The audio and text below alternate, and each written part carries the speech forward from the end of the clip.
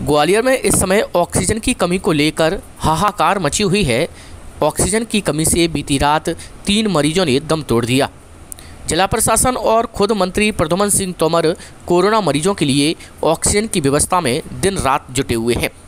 इसी कड़ी में आज मंत्री प्रद्युमन सिंह तोमर ऑक्सीजन की आपूर्ति के लिए मालनपुर इंडस्ट्रीज़ में मौजूद सूर्या रोशनी फैक्ट्री में पहुँचे, जहाँ ऑक्सीजन रिफिलिंग प्लांट के अधिकारियों से चर्चा की। और मरीजों को ऑक्सीजन पहुँचाने का आग्रह किया। अब सूर्या रोशनी ऑक्सीजन प्लांट से 24 घंटे में लगभग 250 ऑक्सीजन सिलेंडर रिफिलिंग की जाएँगे, ताकि ग्वालियर के साथ साथ मुरैना, भिंड, श्योपुर ज़िले में प्राणवायु ऑक्सीजन मरीजों को मिल सके।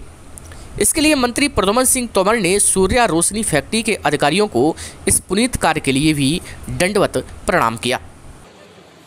फैक्ट्री में खड़ा हूँ और मैं वहाँ के मैनेजमेंट को प्रणाम करता हूँ कि उन्होंने आज जो है ऑक्सीजन हमारे जिस कोरोना वायरस पीड़ित को ज़रूरत है, उसके लिए देने की प्राणवायु देने का काम शुरू किया है।